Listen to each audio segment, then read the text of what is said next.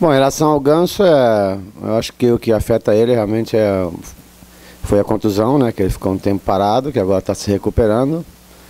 É, problema de contrato, é, ele tem pessoas que decidem isso, todos eles têm. Então ele, e agora ainda mais ele foi convocado, então ele tá, tem que cuidar da parte física dele e, e para se apresentar bem na seleção, né?